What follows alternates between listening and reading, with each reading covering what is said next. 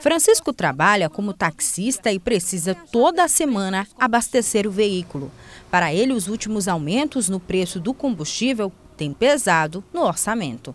É um absurdo, né? Tá, o, o valor está tá muito elevado, tá vendo? Aí a gente está achando muito caro, que se pudesse dar uma. É, abaixar mais o valor, né? Porque está muito alto esse valor. Assim como Francisco, muita gente sentiu pesar o bolso devido ao aumento da gasolina e do diesel nos postos de combustíveis de São Luís.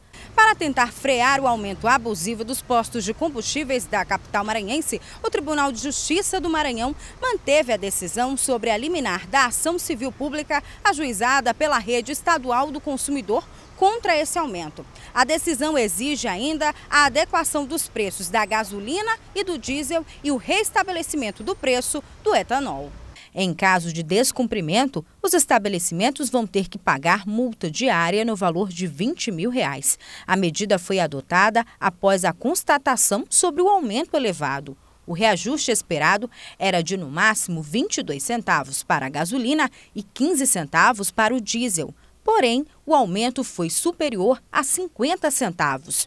Os postos de combustíveis ainda tentaram recorrer da decisão, mas o TJ não atendeu ao pedido. Mesmo com o congelamento dos preços do combustível, os motoristas reclamam que os reajustes anteriores deixaram os preços ainda elevados. Eu estou achando que está muito pesado, muito alto o salário não aumenta e a, o, aumenta a despesa do combustível e sai muito pesado. Digamos, é, o que a gente podia, se era para ganhar 50, já só ganha 30.